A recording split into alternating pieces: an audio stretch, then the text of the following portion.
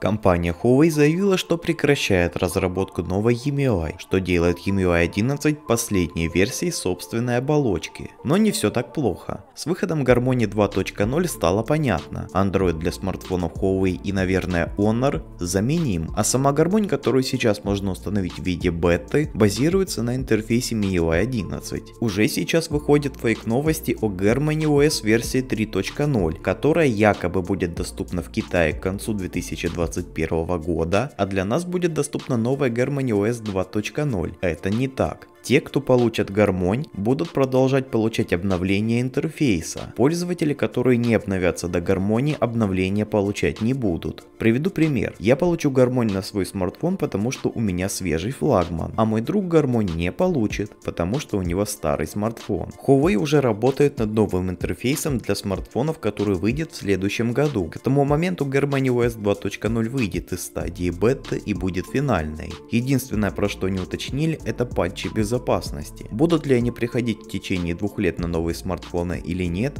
пока что загадка. Но скорее всего да, потому что по своей сути они небольшие.